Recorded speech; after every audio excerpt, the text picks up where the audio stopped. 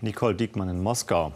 Didier Burkhalter, der Schweizer Bundespräsident und gleichzeitig turnusgemäßer Chef der OSZE, will am Mittwoch zu Gesprächen mit Wladimir Putin nach Moskau kommen. Worum soll es denn bei diesen Gesprächen gehen? Um einen runden Tisch soll es bei diesem Treffen hier im Kreml gehen am Mittwoch. Der soll eingerichtet werden in der Ukraine unter dem Stichwort nationaler Dialog. Das sagt schon eine Menge über die Ukraine aus. Es muss mittlerweile ein runder Tisch eingerichtet werden, damit die Parteien, die unterschiedlichen Parteien der Ukraine überhaupt noch miteinander sprechen, überhaupt erst mal wieder ins Gespräch kommen, um die Gewalt zu stoppen. Darüber wollen Putin und Burkhalter am Mittwoch reden. Ergebnis offen. Ja, das wäre jetzt meine Frage. Ähm, es geht ja wahrscheinlich auch ein bisschen um die Rolle der OSZE im Land, im Einsatz in der, in der Ukraine. Welche Ergebnisse sind denn möglich überhaupt, auch für die OSZE?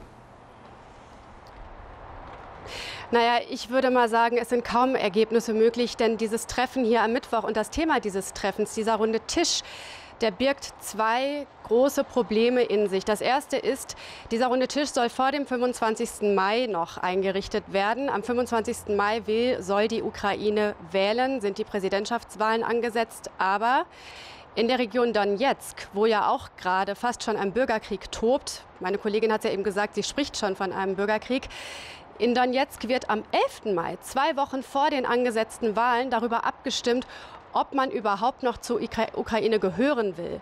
Der 25. Mai, das sagt Katrin Eigendorf ja auch, die im Moment in Donetsk ist, der interessiert niemanden in Donetsk. Also das heißt, es geht viel Zeit verloren. Dieser runde Tisch würde der, der, der Situation, die im Moment in der Ukraine herrscht, überhaupt nicht gerecht. Und der zweite, der zweite große Fehler, würde ich es nennen, dieses runden Tisches und dieses Treffens hier am Mittwoch in, äh, in Moskau ist, es geht um einen nationalen Dialog in der Ukraine und darüber sprechen der OSZE-Vorsitzende und der Präsident von Russland nicht der Übergangspräsident der Ukraine oder der Regierungschef der Ukraine, sondern der Präsident Russlands, Wladimir Putin, der bei jeder Gelegenheit immer wieder dementieren lässt, dass er Einfluss habe auf die prorussischen Kräfte, die da gegen Ukrainer oder pro-ukrainische, pro-westliche äh, Kräfte kämpfen.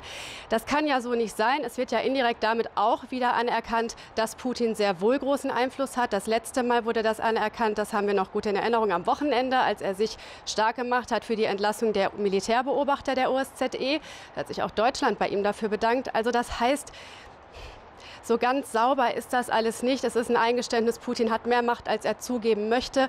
Und was er mit dieser Macht im Moment tut, ja, das sehen wir gerade im Osten. Also ich glaube, dass so ein runder Tisch zum Scheitern verurteilt ist. Es ist natürlich, man muss das Gute ja auch sehen, nochmal ein Eingeständnis, dass die OSZE hier wahrgenommen wird, dass es anscheinend doch noch die Hoffnung gibt auf diplomatische Verhandlungen, dass sie doch noch zu einem Ziel führen. Aber dieser runde Tisch wäre nicht die erste Initiative, die zum Scheitern verurteilt ist. Das Genfer Abkommen von Anfang April, in dem es um Bewaff Entwaffnung ging und um die Räumung von besetzten Gebäuden im Osten der Ukraine, war nach wenigen Tagen ja schon Makulatur. Also wir sind hier alle sehr, sehr pessimistisch. Ja, dann ähm, wird sich wahrscheinlich Herr Putin auch ähm, kaputt lachen über Steinmeiers Vorschlag, also der deutsche Außenminister will ja einen Genf II und äh, Frau Merkel, die Bundeskanzlerin, sagt, äh, sie fordert Wahlen in der ganzen Ukraine. Wie sieht man das denn in Moskau, diese Äußerungen? Also ob Wladimir Putin sich kaputtlacht, davon muss man leider ausgehen. Aber natürlich, der Westen hat keine andere Wahl. Der Westen hat gar kein Interesse daran, militärisch einzugreifen in der Ukraine. Und äh, man muss natürlich weiterhin auf die Diplomatie setzen. Es gibt gar keine andere Lösung derzeit, wenn überhaupt. Es gibt keinen anderen Weg, der zu einer Lösung führen könnte. Tja, wir werden sehen, ob es, ob es doch noch erste neue Zeichen der Entspannung geben kann. Es geht im Moment nicht mit Moskau, aber vor allem diese Freilassung der OSZE-Geiseln am Wochenende hat gezeigt, ohne Moskau geht es überhaupt nicht. Erhellende Informationen aus Moskau. Dankeschön dafür, Nicole Diekmann.